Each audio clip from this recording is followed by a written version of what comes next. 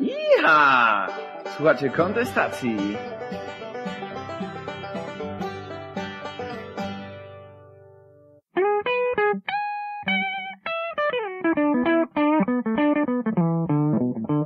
Opowieści pastora przedsiębiorcy. Witam serdecznie opowieści pastora przedsiębiorcy. Więcej informacji o mnie na mojej stronie internetowej www.koach.pl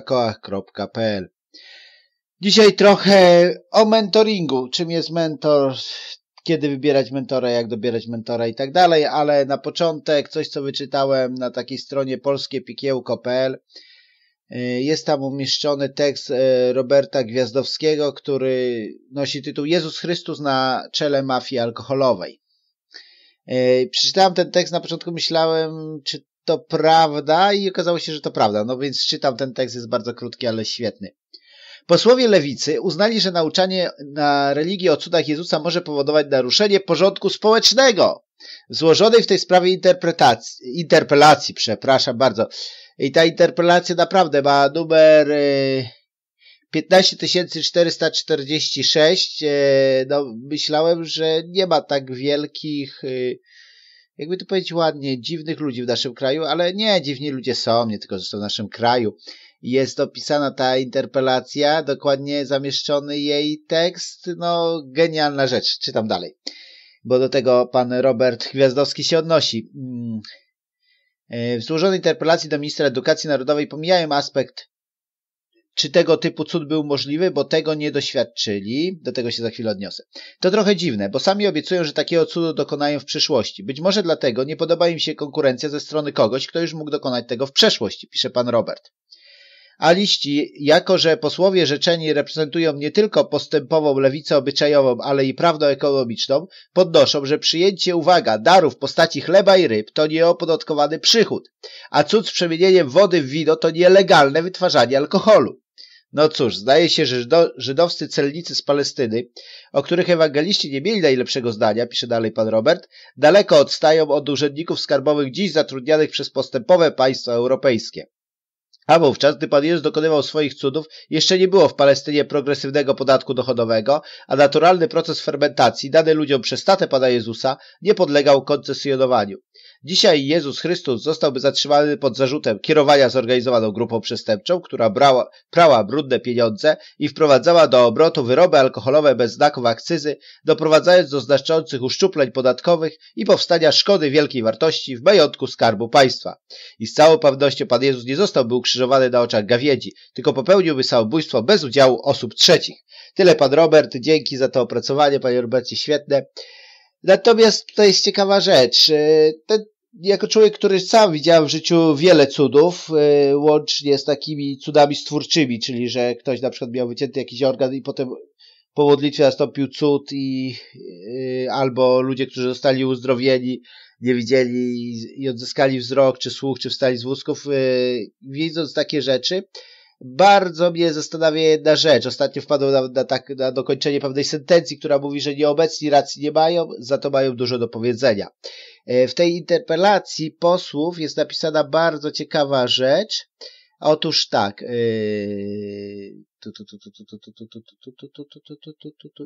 W tym miejscu chciałbym pominąć aspekt tego typu, czy cud był możliwy, bo ani ja, ani jak mnie ma pani minister, nie doświadczyliśmy takiego cudu.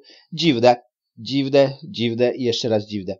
E, jeżeli Biblia mówi, że Jezus jest wczoraj i dziś ten sam na wieki, jeżeli wierzysz w tego samego Jezusa, no zakładam, że oni nie wierzą, tak? Ale jeżeli wierzysz, to powinieneś też doświadczać cudów, ponieważ On się nie zmienił. Więc jeżeli nie doświadczasz... Doświadczenie cudów jest mocno związane z wiarą. Więc yy, to tak na marginesie moja taka refleksja, że wiara jest potrzebna, żeby zobaczyć cud. Więc zachęcam do wiary, ale to tak przy okazji tej interpelacji. Pewnie ci posłowie w życiu by nie uwierzyli, do czego ich interpelacja może posłużyć do nawoływania do wiary.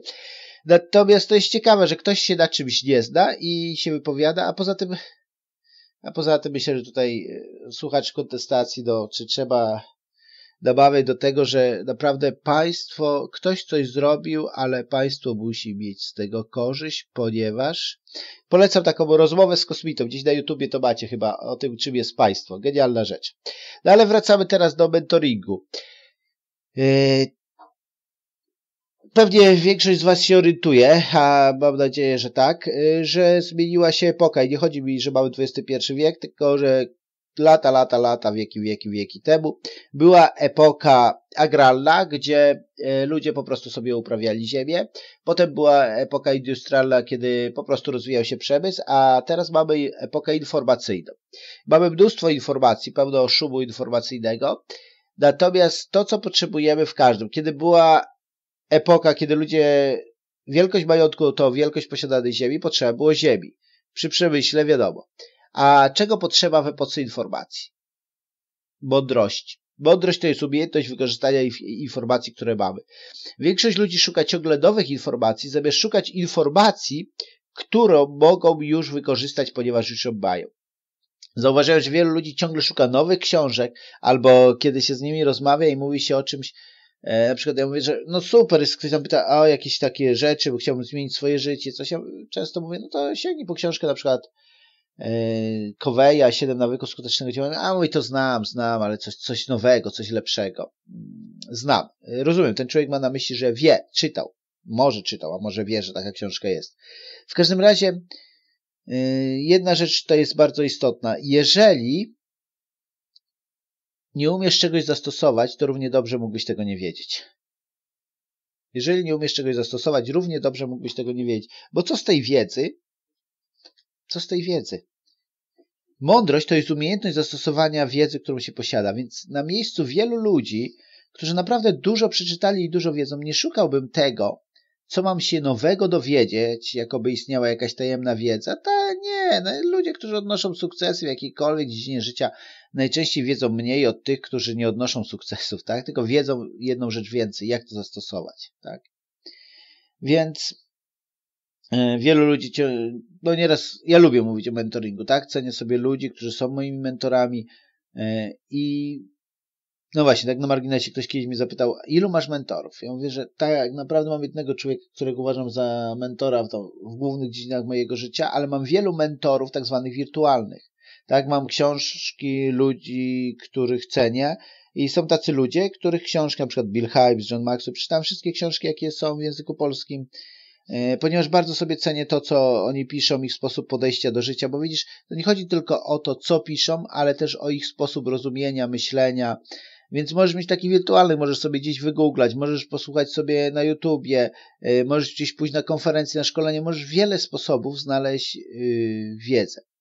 Natomiast chodzi o to, żeby zobaczyć i dlatego może wrócę do tej myśli, od której zrobiłem dygresję. Więc e, ludzie, którzy mówią, ale skąd wziąć mentora dzisiaj? No, jeżeli dzisiaj ty nie wiesz skąd wziąć mentora, no to naprawdę współczuję.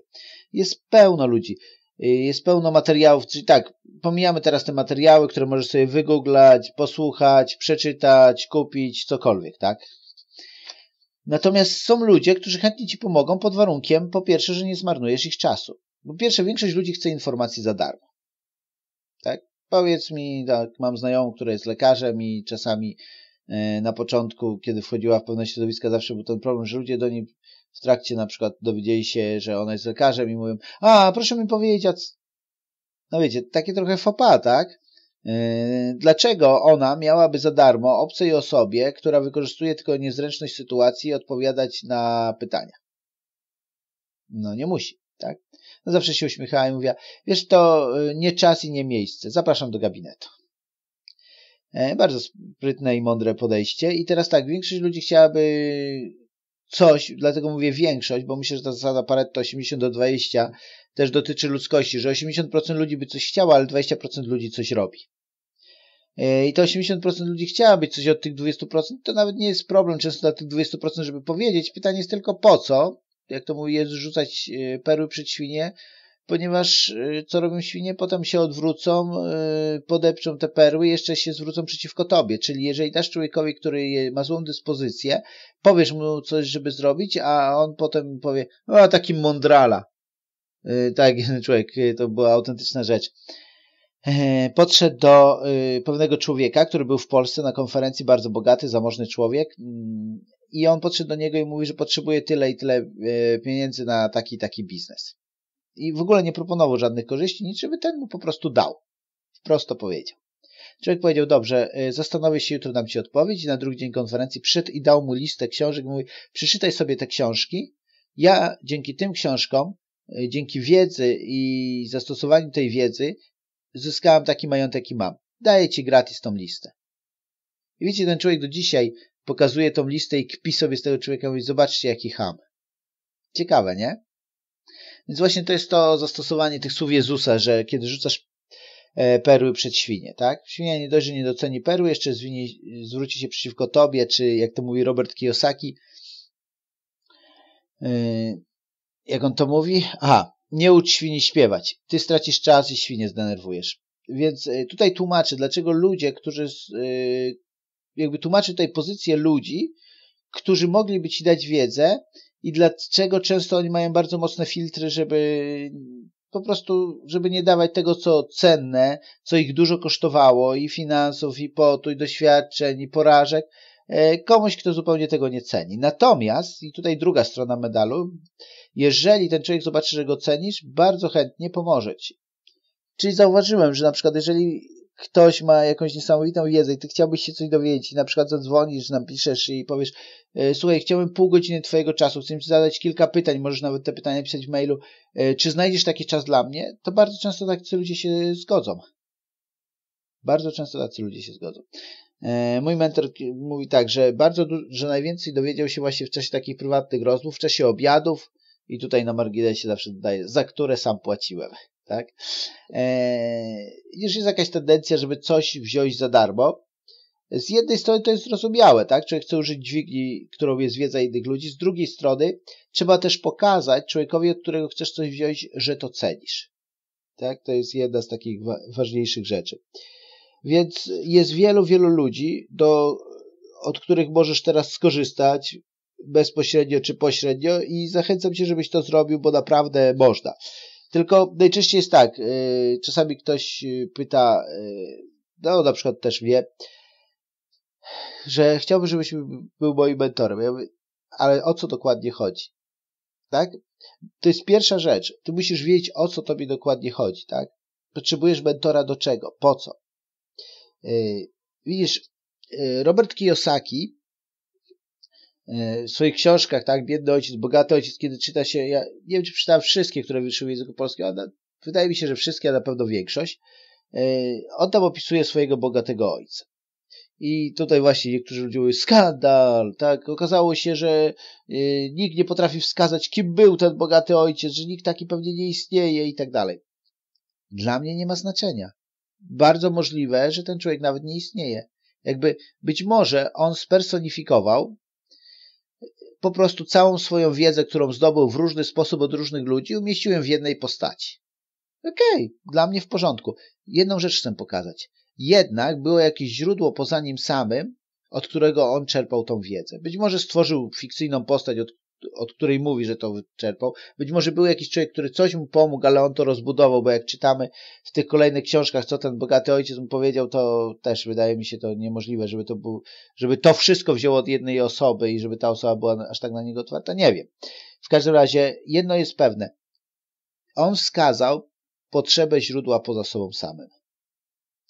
I teraz y, z jednej strony tutaj pokazywałem przez prawie pół audycji, że potrzeba tej wiedzy, że są ludzie, którzy wiedzą, że możemy tą wiedzę zdobyć i tak dalej. Natomiast teraz chcę trochę pokazać jeszcze inny, mniej znany aspekt y, mentoringu. Kilka takich aspektów chcę teraz pokazać, ale jeden z mi znanych, że większość ludzi szuka recepty, a nie relacji. Większość ludzi szuka recepty, a nie relacji. Widzisz, mentor może się pomylić. Ja cenię sobie pewnego człowieka, właśnie tego, który uważam za mojego mentora. Powiedziałem, jednemu z moich znajomych o, o nim y, i on sam do niego pojechał i otrzymał jakąś informację co do swojego problemu. Za ponad pół roku znów pojechał w tej samej sprawie i otrzymał zupełnie odwrotną informację. I powiedział, e, co to za mentor? Ja zapytałem tego mentora, dlaczego on to zrobił. On powiedział tak, ponieważ ten człowiek przez pół roku nie podjął decyzji, więc stwierdziłem, że obie te decyzje nie są ani dobre, ani złe. Jedna wydaje się być bardziej korzystna, ale obie są w porządku, więc stwierdziłem, jak nie podjął jednej, a być może on po prostu przyjechał po to, żeby usłyszeć, że akurat taką decyzję ma podjąć, tak? Więc jeżeli nie podjął jednej decyzji, to niech podejmie drugą decyzję, ale niech przynajmniej coś robi. Cokolwiek zrobi, ruszy go to z miejsca. I widzisz, większość ludzi podchodzi powierzchownie do mentoringu. E, jeżeli jednak chcesz wejść w bliższą relację z mentorem, to normalne, on nie będzie ci poświęcał za dużo czasu. Jednak szukanie miejsc, gdzie on bywa, patrzenie na pewien jego styl życia da ci o wiele, wiele więcej niż te proste recepty, których się szuka na początku. Jezus był takim mentorem. Zobaczmy Ewangelię Mateusza, 9 rozdział od 9 wiersza. I przechodząc stamtąd, ujrzał Jezus człowieka siedzącego pod, przy cle imieniem Mateusz, rzekł do niego, pójdź za mną, a on wstał i poszedł za nim. Czyli Mateusz zostawił całą swoją pracę dlatego, żeby wejść w relację, w grupę mentorską, którą prowadził Jezus. I tu jest, są dwa genialne wersety. A gdy Jezus siedział w domu za stołem, wielu celników i grzeszników przyszło i przysiedli się do Jezusa i uczniów Jego, co widząc faryzeusze mówili do uczniów Jego, dlaczego nauczyciel wasz jada z celnikami i grzesznikami.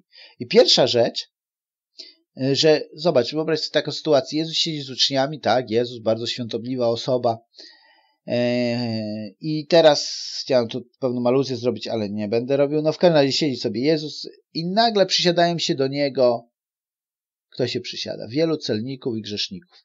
Ciekawa rzecz, nie?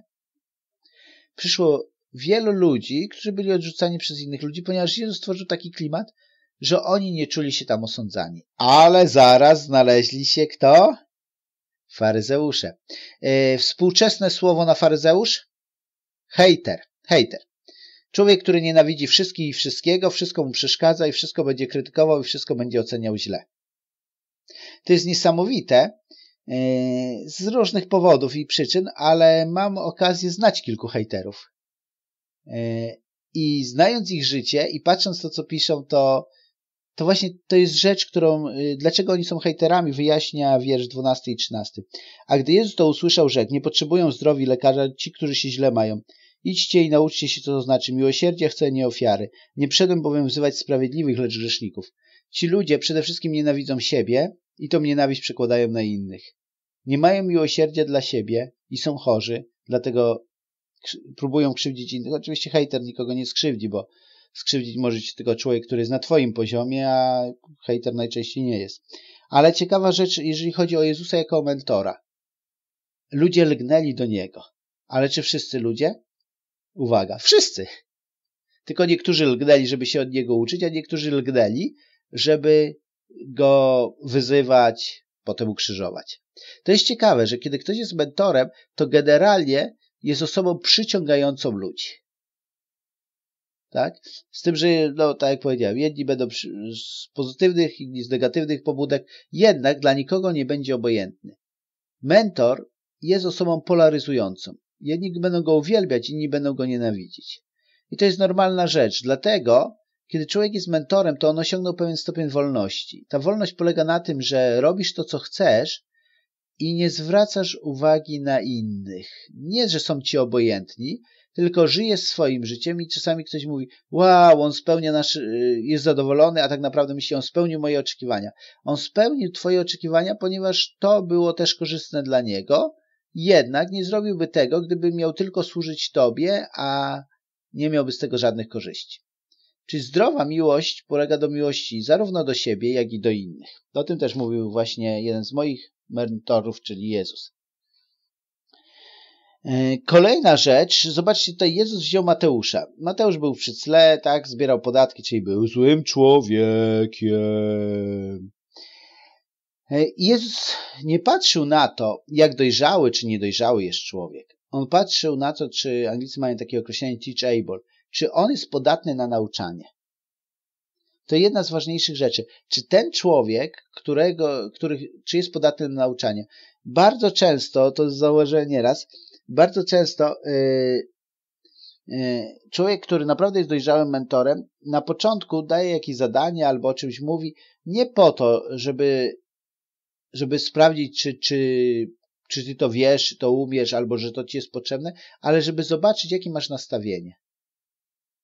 Raz w życiu zdarzyło mi się, nie pamiętam, powiedzmy, że to było 15 minut, może pół godziny coachingu, że wstałem i powiedziałem tej osobie, słuchaj, oddaję ci pieniądze, jest w porządku, yy, po, z takich takich powodów chodziło o nastawienie, nie jestem w stanie ci pomóc. Widzisz, czasami tak jest, że nie jesteś w stanie pomóc pewnym ludziom.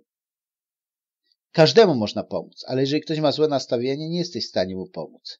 I nie ma co próbować. Naprawdę nie ma co próbować. E, wczoraj oglądałem, jestem pod wrażeniem filmu Fighter, e, oparty na prawdziwej historii. Tam jest e, pewien człowiek, który jest bokserem. I tutaj ciekawa rzecz. No, jego relacja z rodziną jest taka patologiczna, tak? Szantażowany przez despotyczną matkę. I w pewnym momencie, kiedy zaczyna iść swoją drogą, E, oczywiście rodzina się wzburza, jednak po czasie rodzina nauczyła się tak funkcjonować, żeby uszanować jego własną drogę. I to tak trochę jest. Jeżeli chcesz iść swoją drogą, to musisz pozwolić na to, żeby niektórzy się wzburzyli, po czasie te relacje, jeżeli im zależy na tobie, to będą właściwe. Jeżeli zależało im tylko na ich samych, to odejdą z twojego życia. Obie rzeczy są w porządku. I Jezus miał tak, tak? Służy za nim tłumy, yy, ponieważ czynił cuda, czego panowie z lewicy nie mogą znieść i po dwóch tysiącach lat dalej się bulwersują. Natomiast yy, kiedy yy, któregoś razu przyszli, żeby zrobił cuda, on powiedział, że nie zrobi cud i zaczął ich nauczać, to odeszli obrażeni. Tam pisze, że z pięciu tysięcy została tylko grupka dwunastu uczniów.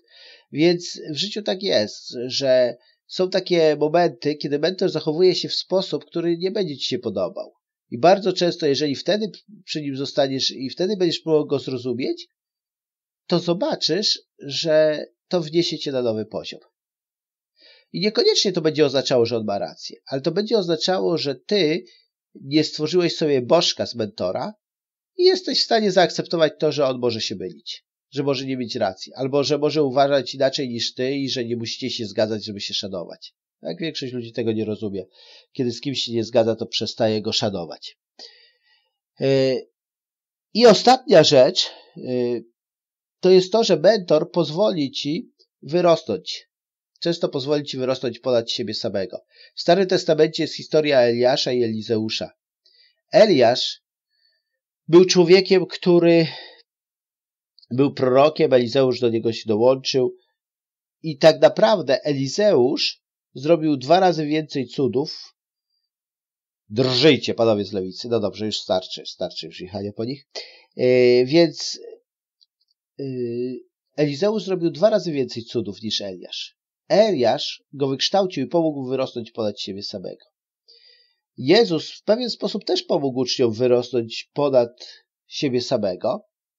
E, I mamy na to kilka przykładów. Po pierwsze, Jezus chodził tylko po Ziemi Świętej i ich rozesłał na cały świat. E, po drugie, w Ewangelii Jana w 14 rozdziale, no sorry, no nie da się oddzielić Jezusa od cudów. 14 rozdziale, w 12 wierszu powiedział, kto wierzy we mnie, ten będzie dokonywać uczynków, które ja czynię i większe nad te czynić będzie, czyli większe cuda.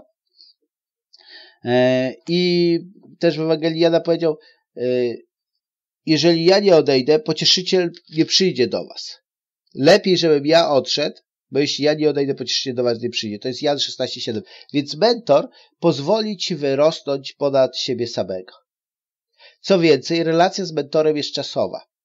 Jeżeli to jest właściwy mentor, to nie będzie cały czas twoim mentorem. Przekaże ci co wie, chociaż on się cały czas rozwija, więc też będzie się rozwijał. Jednak jest pewien poziom rozwoju, na który można powiedzieć, że jesteście na tym samym poziomie, tak? Chociaż on jest może trochę dalej, ale poziom jest ten sam.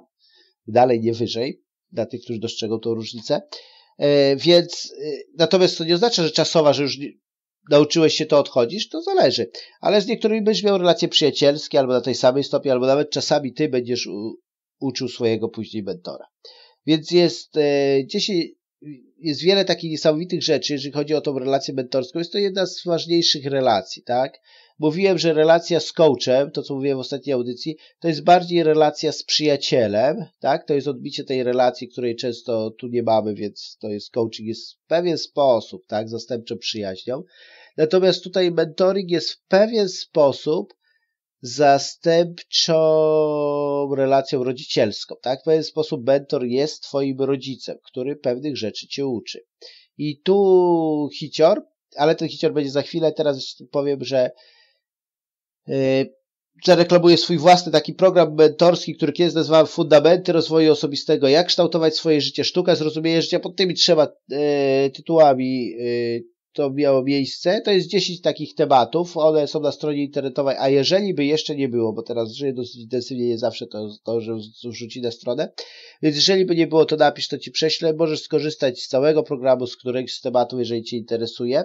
Ale teraz, yy, jeżeli nie wiesz jak napisać, no to andrzejmałpakoach.pl Natomiast bonus na koniec. Otóż, ponieważ mentoring jest w pewien sposób zastępczą relacją rodzicielską, to to, co jest niesamowite, to to, że mentor nadaje ci tożsamość. Mówiłem już, że audycję całą nagrywałem o tożsamości, więc nie będę teraz powtarzał, może do tego wrócić, ale generalnie chodzi o to, że człowiek, żeby dorosnąć, żeby poczuć, że jest wartościowym i w pełni mężczyzną czy kobietą, potrzebuje przyjąć tożsamość.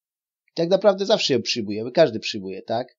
I ta tożsamość albo cię wynosi w górę, albo pogrąża w dół, tak? Na przykład, y, kiedy jesteś w klubie na przykład ludzi pijących, tak? Nazwa to ładnie klubem, y, no to też przyjmujesz od nich tożsamość. Kiedy, nie wiem, dołączysz do takiego ruchu jak kontestacja czy Asbiro, przyjmujesz swoją tożsamość, tak? Przedsiębiorca, libertarianin i tak dalej.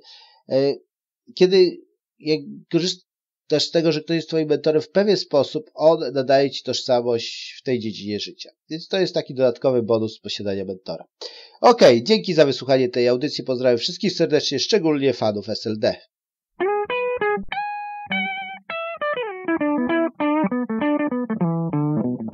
Wysłuchałeś opowieści pastora przedsiębiorcy. Iha! Słuchajcie kontestacji.